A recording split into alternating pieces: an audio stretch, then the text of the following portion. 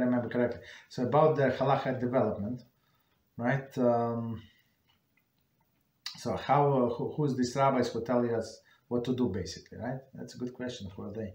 So um, all of the all the laws that, that we have today, they were passed uh, in two forms. One is uh, written law, which is uh, the, where we have a, like Chumash, these five books of Moshe, and uh, second part is the oral tradition. So that was uh, given to to our teacher Moshe Rabbeinu orally. So and until just uh, I don't know. So it, and it was forbidden to write it down. All of these years was forbidden. So and people had like uh, some little notes, like some reminders for, for themselves, but uh, but was uh, it was completely forbidden to write down. Okay, and uh, after some times when uh, um, Rabbi Yehuda Hanasi that, that he saw that we very soon it's going to end and we're going to disperse and there's no more scholars that remember all the all, oral law by heart by heart. And what he did he compiled mishnah. So mishnah is condensed laws. If if you read the mishnah you understand that you understand exactly zero. You feel not smart to say the least. At least i feel not smart right? Uh, because even things that you, you thought that you understand when you try to like you go into Talmud, you see that explanation. It's exactly opposite. Unless you you learn in person and you know it from from other sources that it's uh, like the way the things work. So you, you cannot learn the laws from the Mishnah. But in this in his time, yeah, people could could learn the laws from the Mishnah. They knew exactly what uh, what was said there. Um, and after that, uh, we have uh, after another few hundred years, so people saw that even Mishnah is not enough. People do not understand what to do. And that's how Talmud started. And our sages, they discussed what it says in the Mishnah. And they came to conclusion. Final, some, sometimes they would come to final conclusion. Sometimes they would not come to final conclusion. Okay, doesn't matter. And then comes, uh, after some time, it's come Tur. This Rabbi Tur, he compiled the Shulchan Aruch, first Shulchan Aruch that uh, comes Rambam.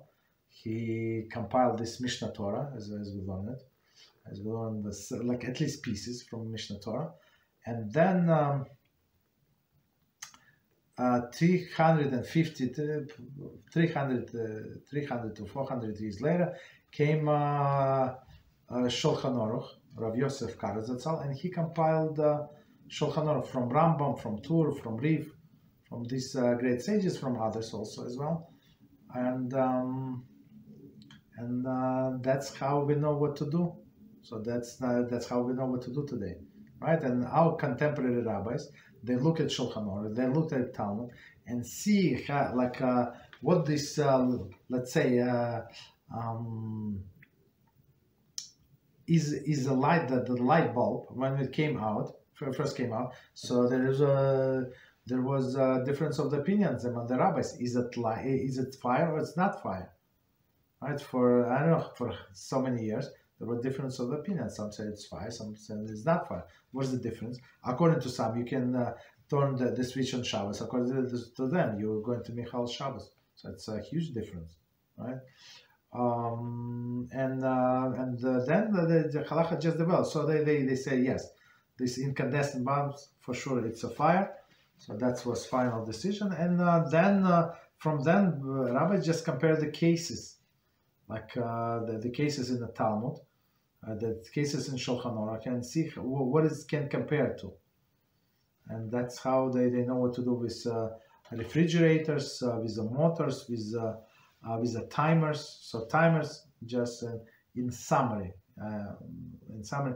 So the, the, there is a uh, there is a section in Talmud that says uh, if you open the uh, the water channel in uh, be, be before Shabbos starts, so it can uh, it can water your, your garden during the Shabbos, no no problem. So the, the logic is that you don't. Um, uh, so you don't you don't have to you you're not doing anything active on Shabbos, so there is no problem. So you're allowed. So same is here. So you're allowed to, to leave the switch on on, on Shabbos with your light. You, you're allowed to, to keep your, uh, uh, as we said yesterday, water urn going. There is no problem. You're not doing anything actively. Or your uh, stove going. There is no problem. Uh, assuming that you're not cooking.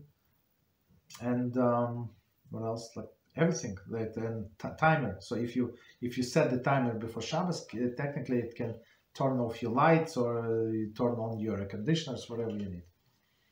Okay, that's uh, how it's uh, developed in summary, nutshell.